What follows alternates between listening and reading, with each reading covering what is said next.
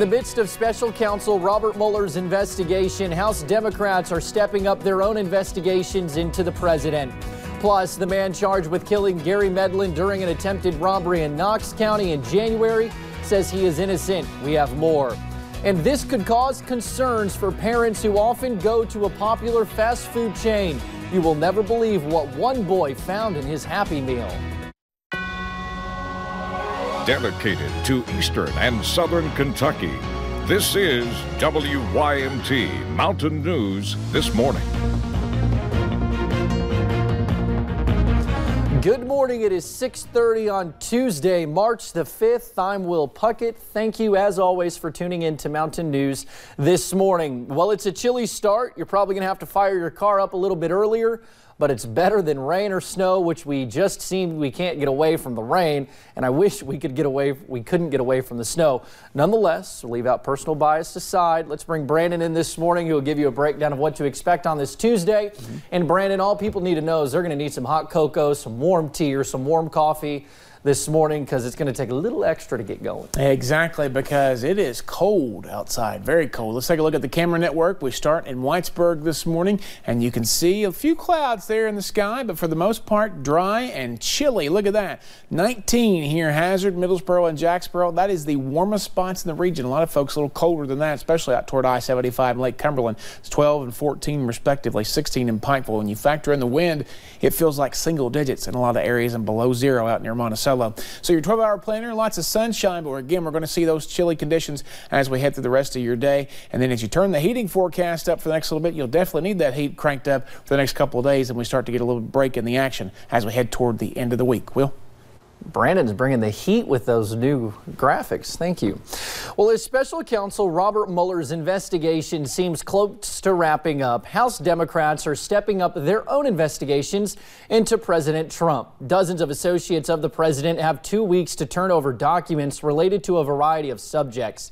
President Trump says he is not worried about the House Democrats' sweeping new probe. I cooperate all the time with everybody. And you know the beautiful thing? No collusion. It's all a hoax.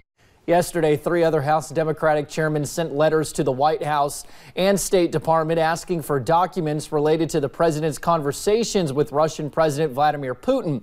The 81 recipients have two weeks to produce the documents to the House Judiciary Committee. Otherwise, they will likely face a subpoena. Well, Kentucky Senator Rand Paul is again talking about his vote against the president's national emergency. Senator Paul is pushing for Congress to rethink this declaration. Here's another part of his news conference in Washington, D.C. Me, it isn't even about immigration. It isn't about a Republican or a Democrat president. It's about Congress versus the president and where the power should be distributed. Now, Senator Mitch McConnell of Kentucky is expecting the vote to pass, but he believes the president will veto it. Now, again, Senate Majority Leader Mitch McConnell said at a news conference in Louisville yesterday that it was clear that the resolution of disapproval over President Trump's national emergency declaration over the border wall has enough support to pass the GOP-led chamber. I was one of those uh, hoping the president would not take the national emergency route. uh, once he decided to do that, I said I would support it, but I was hoping he wouldn't take that particular path. I think what uh, what is clear in the Senate is, is there will be enough votes uh, to pass the resolution of disapproval, which will then be vetoed by the president, and then in all likelihood the veto will be upheld in the House. Now, the Supreme Court is steering clear of a religious liberty case in New Jersey. Yesterday, the High Court decided not to get involved in a case that ruled against using public money to fix up churches. But the decision did not come without comment. Justice Brett Kavanaugh, joined by Justices Samuel Alito and Neil Gorsuch, said they agreed that the court should not take up this particular case because some of the facts were in dispute. But they are troubled by a lower court opinion that went against the churches. Well, the United States has officially closed its consulate in Jerusalem, downgrading the status of its main diplomatic mission to the Palestinians by folding it into the U.S. Embassy to Israel. The announcement came from the State Department yesterday. For decades, the consulate functioned as the de facto embassy to the Palestinians. Now, that outreach will be handled by a Palestinian affairs unit under the command of the embassy. Meanwhile, First Lady Melania Trump is taking her Be Best initiative on the road. In her first solo U.S. overnight trip in an official capacity, the White House says each stop of the three state tour is designed to highlight a key component of the First Lady's campaign. Yesterday, the First Lady visited an elementary school in Tulsa, Oklahoma. The White House said Mrs. Trump stopped here because the school incorporates character education into its curriculum. Together, I believe we should strive to provide kids with the tools they need to cultivate their social and emotional health. The First Lady has Now, the First Lady's tour wraps up tomorrow with a stop in Las Vegas where she will hold a town hall on opioid addiction. Well, a new environmental report says waste ash from coal fired power plants in the U.S. has contaminated groundwater in 39 of 50 states. The contaminants include arsenic, lithium, and mercury. The report by the Environmental Integrity Protection and Earthjustice is based on groundwater monitoring data.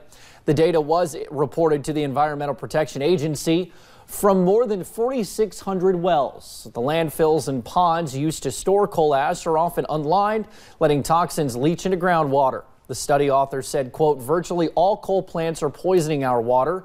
An EPA spokesman says the agency is reviewing the report and can't comment on it just yet. Well, remembering a Perry County murder victim, Danny Mullins was shot multiple times last week. His visitation was Sunday night, and the funeral was yesterday at the County Line Community Church. Family members shared memories of Mullins and told WYMT's Macy Marie he was someone they could always count on.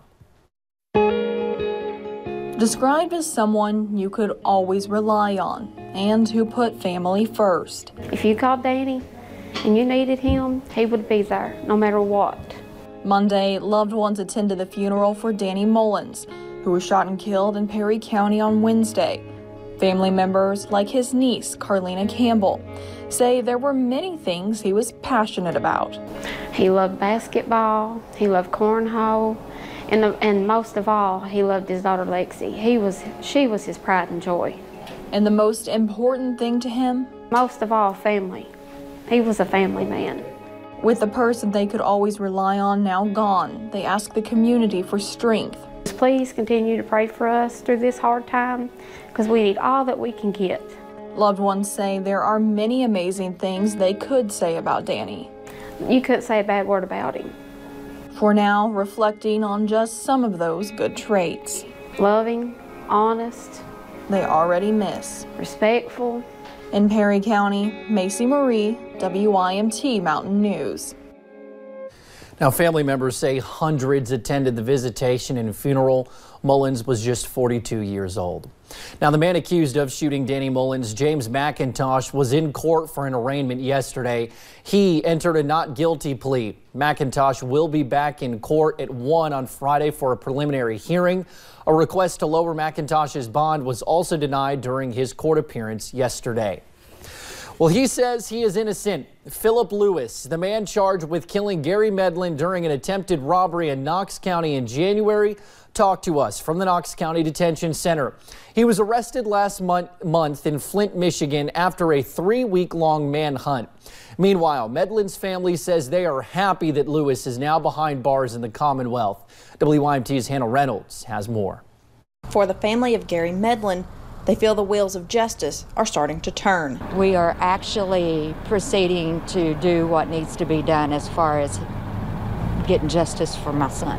And now Philip Lee Lewis, the man charged in the shooting of Gary Medlin at the A&B Quick Stop in January, is behind bars, claiming he's been framed. I don't even know where I'm at. I don't even know nothing about Knoxville, Kentucky. I ain't never been here. As for the day of the murder, Lewis says he has a few different alibis. I was at home with my baby mama, sleep. I just had a long day of studio section with my cousin and them, whatever, whoop the whoop. We was kicking and chilling, rapping and smoking or whatever. I made it home about 11 o'clock. My uncle opened the door for me. Lewis even offered an apology to the Medlin family. I'm sorry for y'all loss or whatever. Rest in peace to Gary. I hope y'all get justice. But says police have the wrong man. I am not no killer. That is not me. I did not kill that man. State police and the Medlin family disagree. It wasn't God or anybody else. It was this evil monster, Philip Lewis. In Knox County, Hannah Reynolds, WYMT Mountain News. Now, Lewis is charged with murder and robbery. Before his interview with us in jail, Lewis appeared in U.S. District Court in London, where federal charges against him were dismissed in light of the new charges. Well, a happy meal with an unhappy surprise. An Ohio family was shocked after ordering their son a McDonald's Happy Meal. And instead of a toy, they say their four year old son found a razor blade. Police do not believe anyone put the sharp tool in the Happy Meal on purpose, but Father Scott Diamond is hoping some changes will be made at the local McDonald's to make sure this does not happen again. Well, construction of the Visitor Center building at the Appalachian Wildlife Center in Bell County is underway.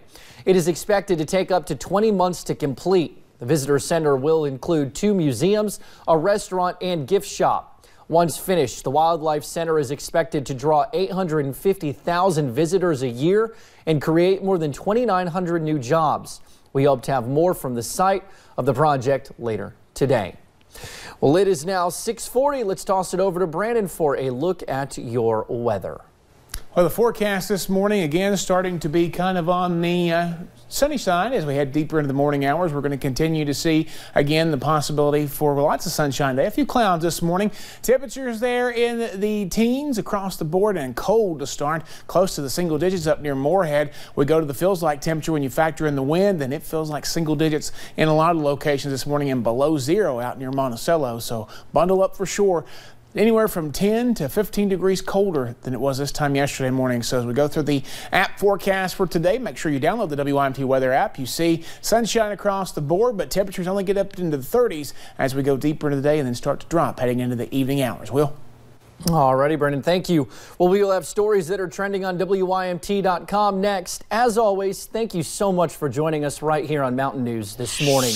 The United States Air Force Air Demonstration Squadron, the Thunderbirds, practiced their aerial formation yesterday in preparation for the Hollywood premiere of Captain Marvel. And a hippopotamus gave birth to a calf at a zoo in India last week, and both the calf and the mother appear to be doing just fine.